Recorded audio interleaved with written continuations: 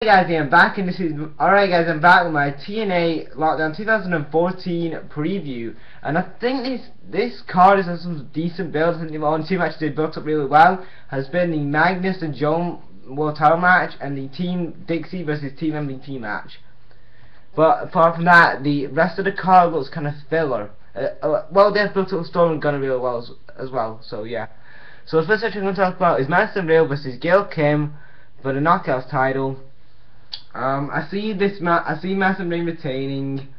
I don't really care about this feud at all. I hope this is end of the feud. Can we please get some fresh knockouts for TNA? Please. I do not want to sit through another six months of Gail Kim versus Madison Rayne. No, no, no.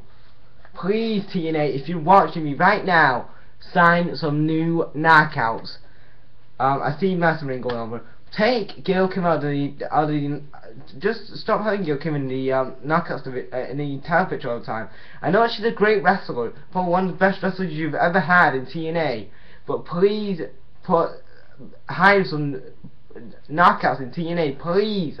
I'm begging you, please, please, please. Um, I don't want to sit through another Gail Kim versus Madison Rayne feud. So yeah. Madison goes over. Um, the second match we're going to talk about is EC3 versus a mystery opponent. Uh, apparently on Impact, um, EC3 attacked um, Kurt Angle, so it means Angle got injured. So apparently on this card it says that Angle's not going to be there. He picked up an injury. So I guess um, EC3 is probably going to face a jobber, or maybe like a X Division guy, maybe um, like um, Shark Boy somebody. I don't know. I, I don't know who would face. I, I see EC3. I'm gonna say EC3 goes over anyway. Um, the third match we're going to talk about is Manik versus Tiger Uno. uh, Tiger Unu. Well, I hope I pronounced your name right. Tiger Unu versus Manik.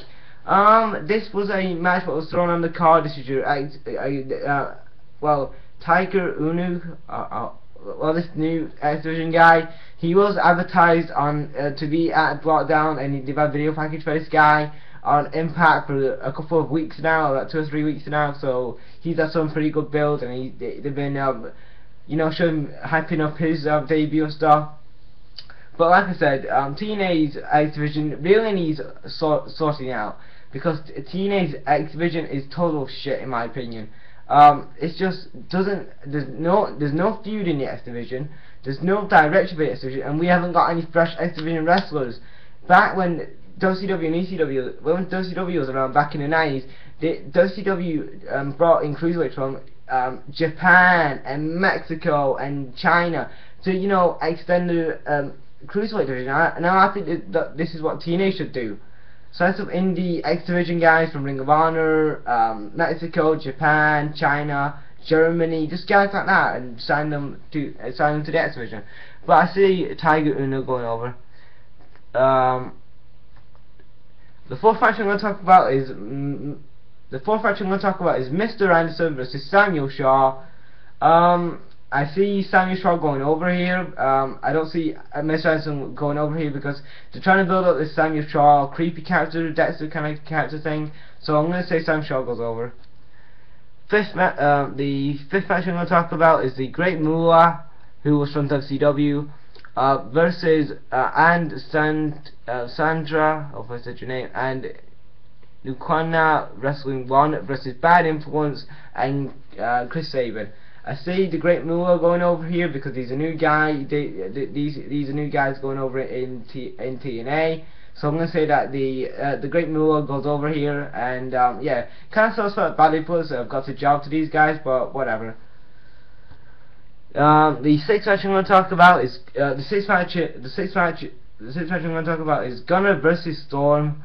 Um, this feud has some really good feud. You've had um, this feud is a feud I'm for personally because these two guys were former friends, former tag partners, now turned enemies all over um, Gunnar's briefcase. Then you had Storm turn heel on Gunnar uh, um, a couple uh, about la last week on Impact. So yeah, you've had a lot of good, and then they had a brawl uh, this week on Impact. So yeah, you've had a lot of good story going into this feud, and I'm really enjoying it. I hope that um, I hope that um, Donny goes over here. Um, oh yeah, the match is the last man standing match.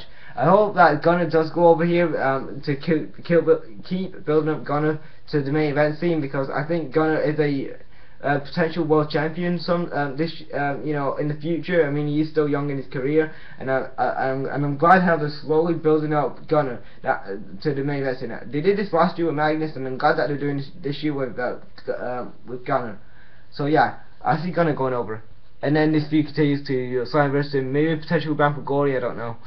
Um, the eighth that was it. The seventh match I'm going to talk about is Team MVP versus Team Dixie slash Team Roode or, whatever. Um, so on Team MVP, you've got MVP, uh, the American Wolves, you've got Jeff Hardy versus Team Dixie, which is Bobby Roode, Nick Bromans, and Austin Aries.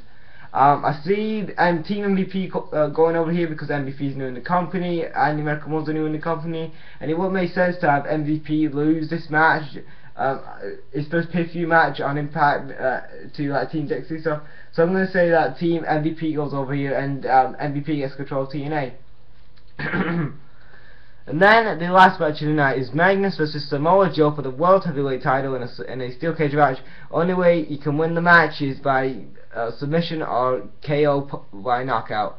I see Joe, um, this is kind of a hard toss up here. Do I want Joe to go over or do I want Magnus to go over? Now the now, I know everybody in IWC, YWC wants Samoa Joe to go over in this match, and I wanted to go over. I want to see Samoa Joe as world champion again. Because I want to see Samoa Joe finally become world champion. I, am glad that TNA are finally pushing Samoa Joe again. I'm glad that they're making him relevant again. I mean, they've treated him for shit for so many damn years. And I was I've been frustrated so long that Samoa Joe has not has not had that big push since 2008 in the main event and that has been frustrated as hell that Samoa Joe hasn't had that big main event push.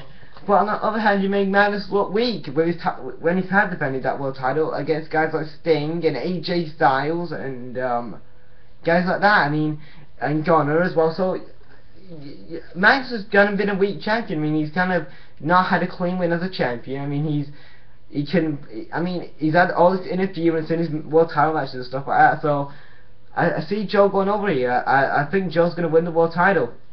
Um, but I'm a fan of both guys, Magnus and Joe, and this fuse has some pretty good build. So yeah, I see Joe going over. So yeah, this is this was my TNA Lockdown 2014 uh, preview. What do you guys think about this card? Leave your thoughts on this pay-per-view and on this card in the comments. If that's what you guys, brag out.